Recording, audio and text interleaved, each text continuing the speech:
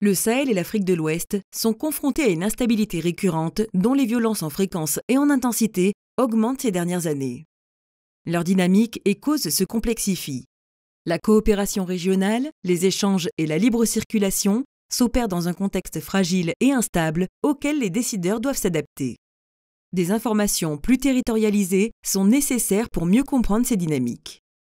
L'indicateur des dynamiques spatiales des conflits, ou SCDI, est un outil qui mesure et catégorise la géographie de la violence politique. Il offre aux décideurs et chercheurs une lecture claire et fiable de l'évolution de cette violence.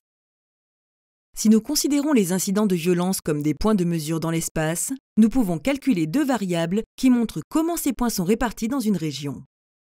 La première est l'intensité, qui mesure la densité des points dans une zone donnée.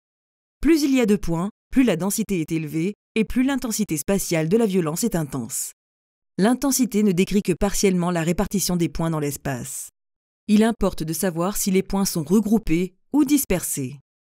Ainsi, deux zones de taille égale, comptant chacune six événements violents, auraient la même intensité.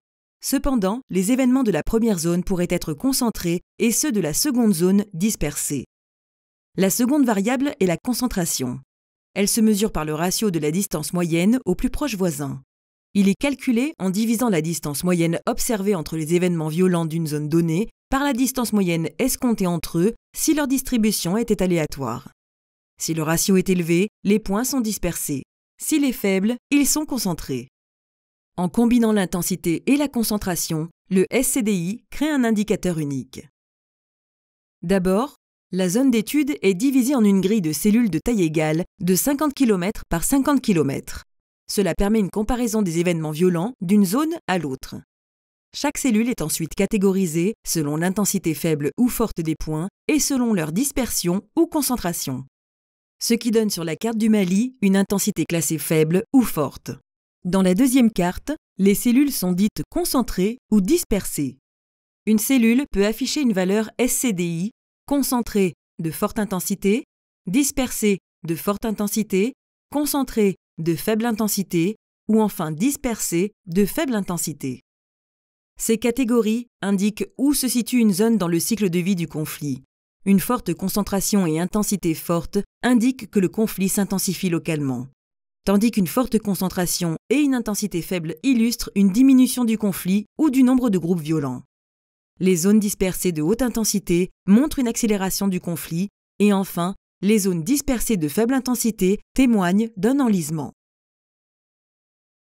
Une cellule peut avoir une valeur SCDI nulle si elle ne connaît qu'un seul ou aucun événement violent.